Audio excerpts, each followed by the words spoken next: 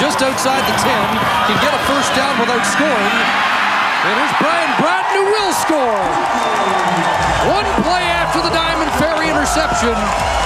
Anthony Calvillo number six gets Anthony Calvillo some time to get the corner. He drops it off to Bratton, and Bratton gets around the end. Brian Bratton with